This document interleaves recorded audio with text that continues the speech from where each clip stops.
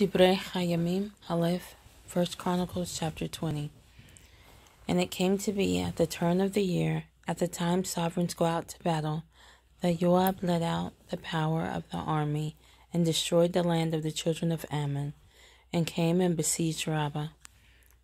But David remained at Jerusalem, and Joab struck Rabbah and overthrew it. And David took their sovereign's crown from his head, and found it weighed a talent of gold and there were precious stones in it. And it was set on David's head, and he also brought out the spoil of the city, a very great amount. And he brought out the people who were in it, and put them to work with saws, and with iron picks, and with axes. And thus David did to all the cities of the children of Ammon. Then David and all the people returned to Jerusalem.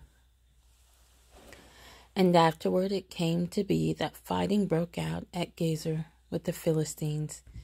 Then Sibbecai the Hushathite struck Sippai of the sons of the giant, and they were humbled.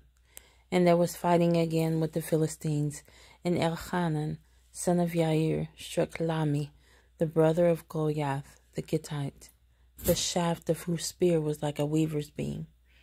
And there was fighting again at Gath, where there was a man of great size, with twenty four fingers and toes, six and six, and he too was born to the giant.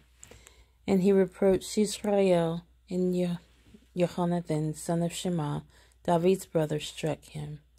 These were born to the giant in Gath, and they fell by the hand of David and by the hand of his servants.